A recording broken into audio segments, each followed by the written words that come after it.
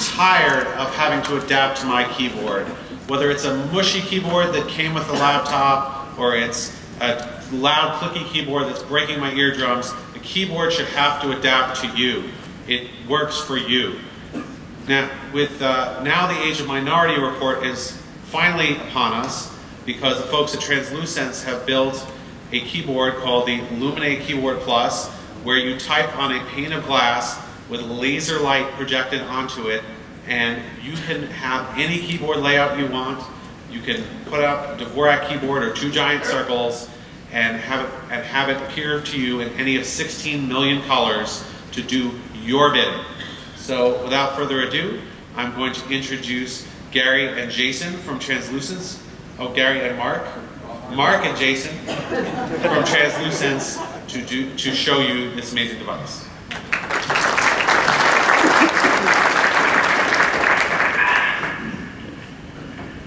Wow. What a crown. I know, it's scary. Can we have the PowerPoint, please? PowerPoint? You're doing this just to make me more nervous, aren't you? Stop the clock, stop the clock, let him start again. Okay, got it. Okay, good morning. Firstly, I'd like to start by saying a big thank you uh, to the judges who voted for a tiny little startup like us to come and share the stage with some of the heavyweights of the technology world. It's a real privilege and one we very much appreciate. It's also a pretty scary experience presenting a gadget to the world's biggest gadget fans, so please be gentle with me. Uh, You think this is just water. Well, my name is Mark Collins and I'm from TransluSense, the Idaho-based makers of the Luminae range of keyboards and trackpads. I'm here today to dispel the myth that all Brits have bad teeth. no, in all seriousness, I'm here today to introduce you to our very cool new keyboard. Actually, calling a keyboard doesn't really do it justice. It's a fully customizable interface device, and I also think a piece of art. Designed by my colleague here, Jason Giddings, a former aerospace engineer, the project originated on Kickstarter, where it achieved three times its funding goal and attracted the attention of some international investors.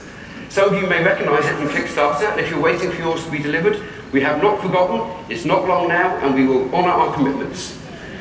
We really got going when we received some 3 million in private equity funding from the Swiss software company, who have since become our partners for the software development part of the project, and who have been crucial in taking this from a small Kickstarter project to a fully fledged, high-end commercial product, which will be released in March this year. This was actually our contract signing on top of a glacier in Switzerland, a day that I don't think any of us will soon forget. I'm the tall one there. I kind of regret wearing the South Park hat. if we can have the video on the keyboard. So what is the Luminae range and what's so special about it? Well, look at it. Apart from the fact that it's clearly the best looking keyboard, sorry, human interface device in the world, it's also an incredibly functional product which allows users to throw away the rulebook when it comes to interfacing with their computers. Users can design their own keyboard layouts for use with specific applications, such as games, video or photo editing, or anything else they can think of using a simple online tool.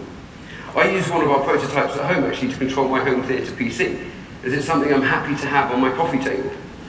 Uh, and with our type and swipe technology, it's something, there's no need for a separate mouse or trackpad. You can simply control the mouse or use gestures right across the keys on the keyboard.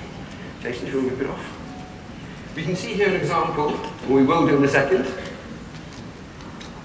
You can see, it, or we're about to see an example of a, uh, a layout that Jason actually designed for the game EVE Online, but which is also a perfect example of how this product can be customized for any use, not just games, but for commercial applications too.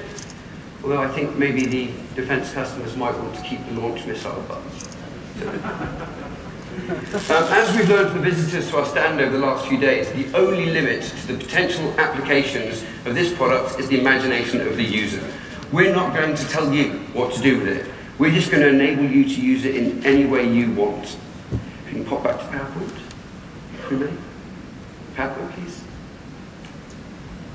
Okay. So far, we've had considerable interest from the scientific and medical community, mainly because it's the first keyboard that can be sterilized simply by wiping it down with alcohol. So unlike a traditional keyboard, it's not a petri dish of germs and bacteria. I can't deny it's been a very tough year turning Jason's dream into a reality, but we hope you'll all agree the sleepless nights, blood, sweat, and tears that have gone into this product have been worthwhile. We're very proud of what we've been able to achieve, and we really hope you like it. Now, I believe we have a break after this presentation, so I'm going to go and calm my nerves in the nearest bar. And so if anyone likes to join me, Jason's buying.